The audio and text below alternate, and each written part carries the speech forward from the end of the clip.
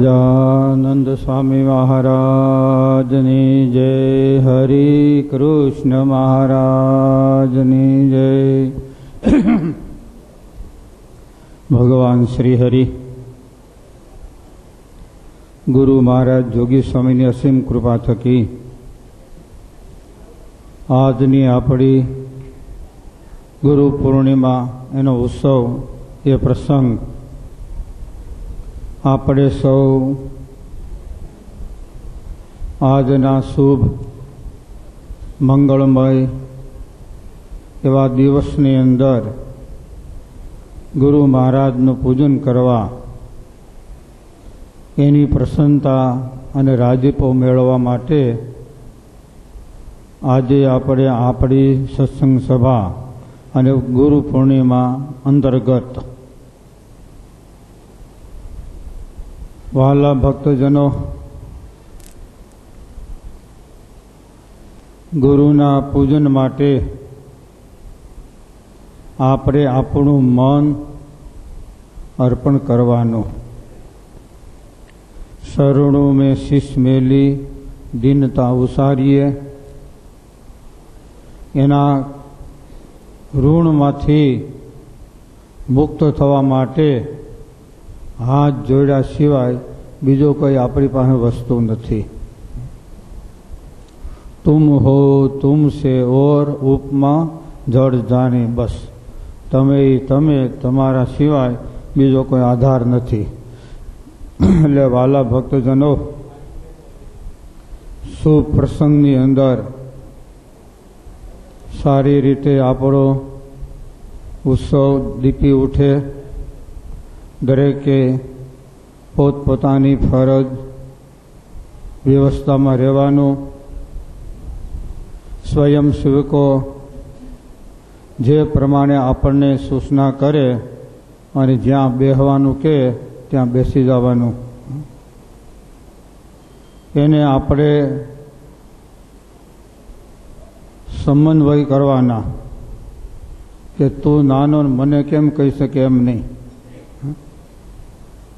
શા માટે સેવક છે? એટલે સેવકનો ધર્મ.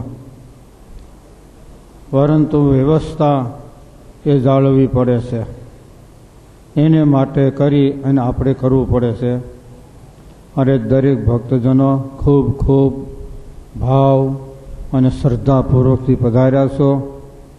તો સૌને આગમન, સૌને સ્નેહ ભર્યા, ભાવપૂર્વક આજના શુભ દિવસની અંદર દરેક ભક્તજનોને શુભ આશીર્વાદ સાથે જય સ્વામિનારાયણ જય સ્વામિનારાયણ. પૂજન એટલે આપણી ભાવના, આપણો પ્રેમ, આપણી નિખાલસતા આપણે ભગવાનને, ગુરુને અર્પણ કરવાની છે. અને દરેક ભક્તજનોએ ખાસ યાદ આપજો કે પ્રેમ છે એ વસ્તુ એક અગત્ય છે. આપણી ભાવના છે એક મહત્વ છે. સહારક પુરુષોત્તમ કૃષ્ણ પરમાત્મા, દુર્યોધન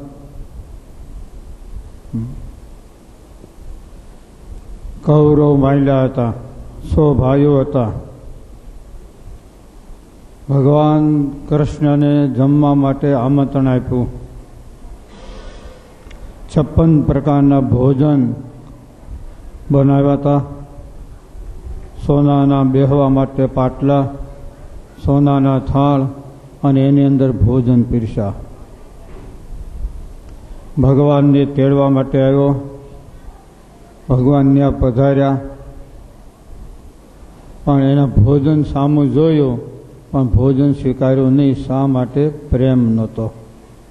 એની ભાવના નહોતી. એટલે ભગવાને સ્વીકાર્યું નહીં. અને ત્યાંથી ભગવાન સીધા સુદામાને ઘેરે ગયા. અને ત્યાં જઈ અને કીધું કે ભૂખ લાગી. ત્યારે સુદામા પત્નીએ ભગવાનને માટે તાંજળિયાની ભાજી એ આપી.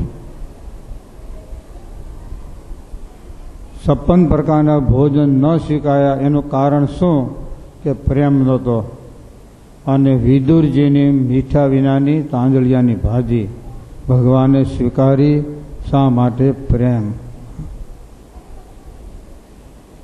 એમ રસ સ્વામી કે ક્યાં છે? જ્યાં ભાવ છે, પ્રેમ છે, ત્યાં રસ આપણે સૌને અનુભવ થાય. સૂકા શીણા ખાઈ, છતાં ભીના ક્યાંથી થયા? ભીના થયા ને? ક્યાંથી થયા? આપણે રસ જાગ્યો ત્યાંથી. જો એટલે મોઢામાં અમ્મી વરસી એટલે એનાથી ભીના થયા અમી ક્યારે વરસે તો એની અંદર ભાવ હોય ત્યારે. એમ આજની પૂજાની અંદર આપણે આપણો પ્રેમ, આપણો ભાવ નિખાલસતા આજે આપણે ગુરુને અર્પણ કરવાની છે વર્ષને અંતે એક જ દિવસ પૂજન માટે આવે છે જન્માષ્ટમી એક જ હોય, રામનવમી એક જ હોય. બાકી પૂનમ તો મહિનામાં એકવાર આવે, એકાદશી મહિનામાં બે આવે. એકાદશી હોય ને, મહિનામાં બે આવે. પૂનમ મહિનામાં એક આવે. પણ ગુરુ પૂજન, ગુરુ પૂર્ણિમા વર્ષની અંતર એક જ ફેરો આવે છે. ગુરુનું પૂજન એટલે ભગવાનનું પૂજન. હે? ગુરુ કયો એસો કયો પૂનમ કો ચંદ પ્રકાશે ઓર તપે નહીં, દેવત આનંદ ચંદ્રમા છે એ પ્રકાશ કરે છે, પરંતુ તપતો નથી ચંદ્રમાં પ્રકાશ કરે, પૂનમનો ચંદ્રમાં હોય ને, સોળે કિલા એ ખીલો હોય, અને સુંદર મજાની મધુરતા, એની કોમળતા આ આપણને આપે છે, અને વન વૃક્ષ બધાને આપે છે, જો.